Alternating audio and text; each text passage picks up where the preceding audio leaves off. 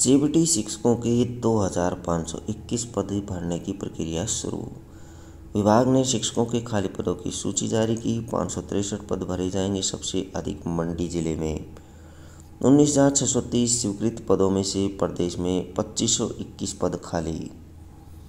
हिमाचल प्रदेश के प्राथमिक स्कूलों में शिक्षकों की कमी जल्द दूर होगी। शिक्षा विभाग स्कूलों में जेबीटी शिक्षकों के पच्चीस सौ इक्कीस पद भरने जा रहा है। प्रदेश मंत्रिमंडल की स्वीकृति मिलने के बाद विभाग ने इस संबंध में प्रक्रिया शुरू कर दी है।